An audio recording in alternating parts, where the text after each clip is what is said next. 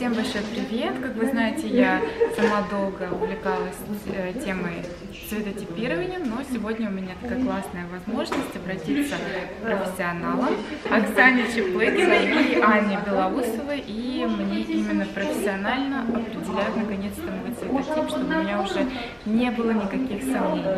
Вот, начнем, я предлагаю с температуры. Мы сейчас э, наглядно увидим холодные либо теплые оттенки нам подходят. И дальше уже будем разбираться. Вот, например, холодный оттенок. Разум посмотрели, запомнили, да? Или теплый, такой персиковый. Вот я вижу, что когда теплый мы прикладываем, ваши черты лица уже не, не, не такие четкий и цвет цвет такой свежий. Да. На нижний контур. На, посмотрите на нижнюю челюстную линию. Если своя, э, свой температурный режим, то лицо подтягивается, обретает чет, четкий контур, лифтинг, да. Вот. А если не свой температурный режим, то четкий контур, контур, контур пропадает, и, соответственно, такая рыхловатость появляется. Я бы точно не делала, потому что я знаю, что это мой самый проблемный цвет. Вот у меня самый проблемный О том, что это... мы подсознательно знаем, что нам лучше. Вот это я избегаю, я избегаю Мгм. цвет яичного желтка, Мгм. и я избегаю Явно теплые, явно Теплый, да. теплые. теплый смешанный. Да, он же такой нечистый. Может, яркий оранжевый был бы еще так ничего. Просто это так действует э, холодный тон, да, вот тон именно Как зоне это кожа. лица, он подтягивает. На нос теперь посмотрите, вот фокусы, да, то есть на нос посмотрите, да, вот запомните, какой он тоненький здесь, да, и как он потерял форму вот тут. Это, сразу. выступ- да, это выступающие части лица, контур и выступающие части лица, они так работают. Если свой температурный режим, то это все подтягивается, да, играет в унисон. Если нет, то начинает э, появляться дисгармония. Посмотрите. Раз, и скула появилась, и вот тут ровность. Нет, и нос, нос заострился. Ну, видно, на самом деле, видно. Со стороны еще Видно, сильнее виднее. Видно, Что да. значит температура кожи? Да, даже если вы э, драпировку с одной стороны теплую, да, а, а здесь холодная. Посмотрите опять, вот здесь подтянулся контур, а здесь вот он пошел. Так, определились, что мы холодные. Да. Холодные цветотипы это у нас зима, либо лето.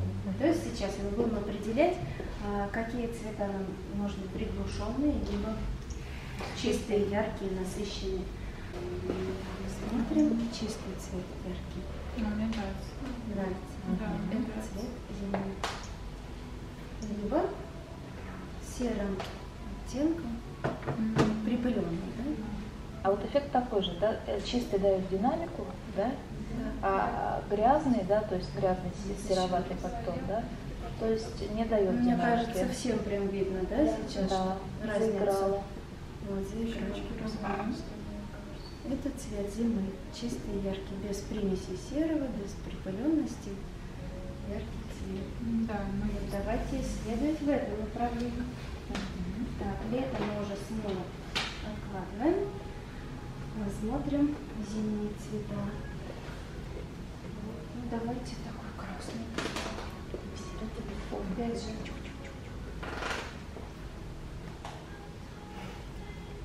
ну, в общем, мне кажется, лично мне нравится, мне кажется, у меня как-то взрослее. Да. Серьезно. он Я думаю, что он в зоне лица всегда капризные такие оттенки. Они, вот знаете какой? На самом деле цвета, э, цвета, они несут информацию. Да? Вот с чем у вас этот цвет ассоциируется? Вино. Вино. Такое настоянное, да, такое, такое настоянное, традиционное. Это А это всегда опыт, мудрость, это возраст. Да, Это психология. Да? да, ну а как иначе, да? То есть, поэтому вот этот хорошо, но из него, из этого, из этого цвета он может быть, э, на самом деле, это могут быть перчатки традиционные, да, э, сумка, ботинки, э, брюки это могут быть, да, то, что в лиц- к лицу не дает возраста, да, то есть, а дает, говорит о традиции, да, о таких, о дорогих традициях. А у меня ассоциация этого цвета с природой. Вот зимой как раз Это ягодки подмороженные, да, вот как Ну да, ну вот смотрите, Вот, сколько это живой ягодок. цвет. Этот цвет из природы. Да. Вот я к чему хочу подвести, к тому, что бывают зимние цвета живые и неестественные. Вот естественные и неестественные, живые и неживые. Тоже это зависит от внешности. Мгм. Вот можете вы представить себе зиму вот с таким синим, с таким э, Ей электриком? хорошо. Хорошо. Ей, Хорошо. фуксия хорошо. Как- У меня есть точно такой же пиджак, Вот. но я его стараюсь носить, чтобы у меня там была какая-то вот либо белая. Это всегда так э, надо, потому что подсветка должна у лица быть. Вот как. Да, тоже ее цвет. Тоже. Вообще вот у меня с желтым проблема, потому что мне иногда они прям вот идут, а вот вроде не вроде неплохо. Хорошо. А Да. сейчас я покажу. А смотрите, он же тоже не особо разберемся. живой, да, то есть он такой вот. Вот вам желтый весны. м, Не, ну вас с ним да, проблем. сильно теплый. Потому что он теплый. яичный желток, да. мгм. Вот этот более лимонный, да? Потому что он Троновый, да, с, холодильника прям синий чувствуется. зеленый зимой. Да. Хвоя, да, ели. Дорого, природно. Отлично смотрится этот цвет. Да. Он очень красиво смотрится.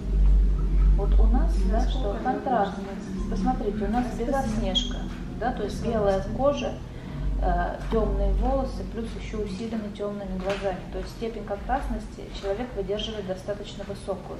Э, В чем фишка? В том, что, допустим, э, одежда, то есть комбинация цвета в одежде должна отыграть контрастность э, сочетание более темного и более светлого. И тогда она загорится. Вот Когда мы прикладываем просто ей темный цвет, ее контрастность не отыгрывается, потому что нету кожи.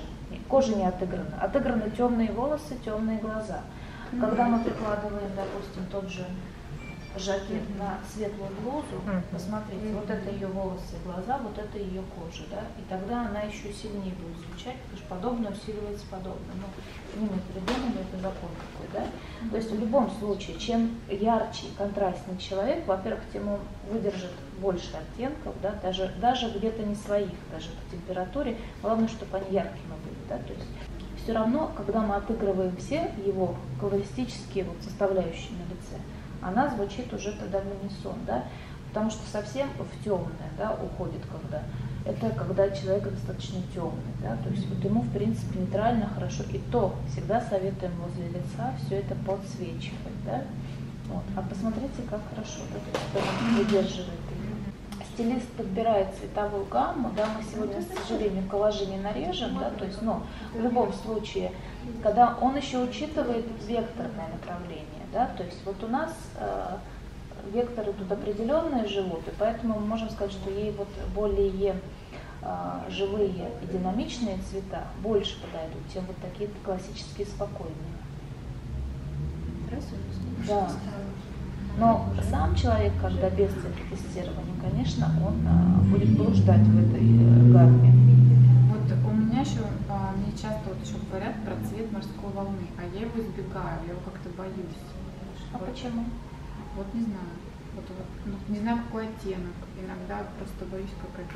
Понимаете, цвет не имеет значения, вот когда мы не видим ткань. Да? Драпа будет цвета морской воды, одного вот, вот цвет бирюзового, Бискайского залива какого-нибудь, да? То есть он Красиво. должен быть такой достаточно яркий и льдистый. Лист от него должно быть льдом веять. Почему вот, вот это, да, он тоже такой льдистый, холодный, вот, хвойный. Мгм. Да, мне нравится такой цвет. Мгм. Он бывает еще такой грязноватый, вот тут не. Потому что грязноватые оттенки – это летние оттенки. У тебя все пигменты чистые. Мгм. чистый и, знаете, как смотришь на льдистость. Вот ткань должна вот, а, повторю, да, то есть как бы на ткань смотришь, допустим, и она должна либо искриться, либо льдистость какая-то от нее идет, поверхность какая-то может быть более гладкая. Вот чистый белый, это я вот знаю с 13 лет, это мой беспроигрыш. Да, Чистый белый. Ну, редко кого идет, честно говоря. Да? зима, вот под таким, посмотрите, белки сразу как стали. Мне кажется, да. Ну просто, может быть, он, конечно, сам по себе цвет такой более обязывающий.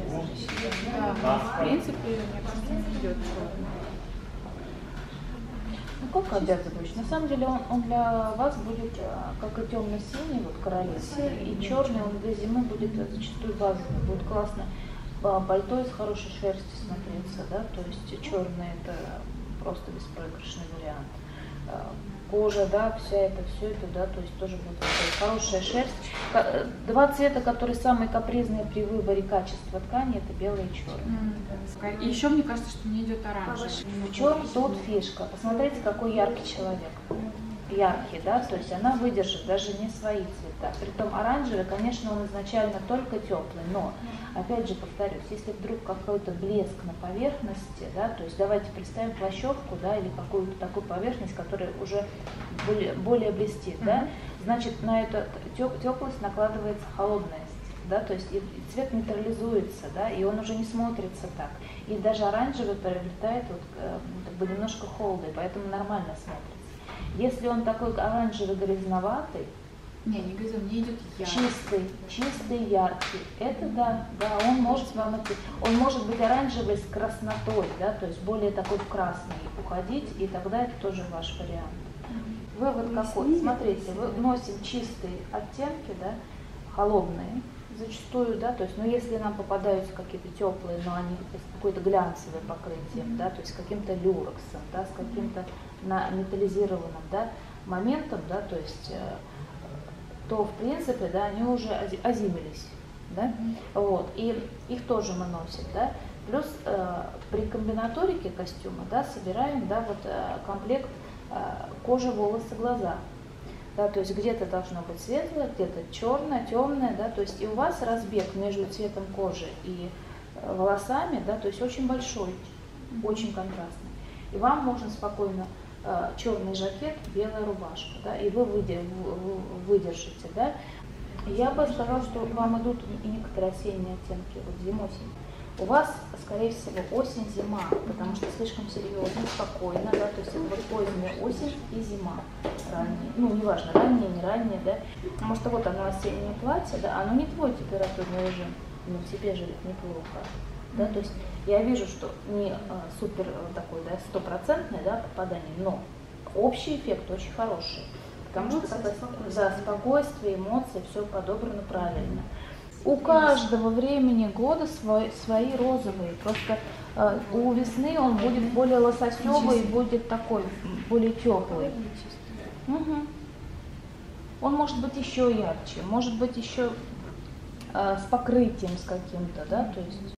Сегодня мы успешно провели цветотипирование, э, выяснили, э, к какому э, цвету, к какому типажу, к какому а, сезону относится наша а, Юля. Юлия, наша героиня нашего сегодняшнего вечера. Подобрали ей определенные цвета, которые подчеркивают ее индивидуальность, а, ее выгодные стороны, ее личность. А, и мне кажется, теперь она без ошибок определит свою вещь в магазине, когда пойдет на самостоятельный шопинг, и будет уже о себе знать намного больше, чем до нашего этого вечера. И вот я от Анны узнала также много вещей, что также в определении цветотипа играет роль еще даже сам образ человека, его психика. Да, конечно, характер однозначно, черты лица, э, линии на лице, моторика, что у нас еще, векторное направление, да, то есть, ну, по большому счету сам цвет, он не несет э, определения, да, какие цвета мы выбираем. Да? То есть именно взаимодействие со всеми наполняющими лица, характер человека, только тогда мы можем а, попадать в точку по выбору цвета. И плюс еще мы что можем делать? На самом деле подбирать цвета под задачу. Да? Конечно, под задачу, а, чтобы где-то подтянуть себя с точки зрения характера, да, где-то дать себе решительности, где-то дать себе романтики. И мы знаем, какие цвета за что отвечают, и учимся манипулировать правильно. Сочетать, подбирать и не ошибаться. Спасибо большое.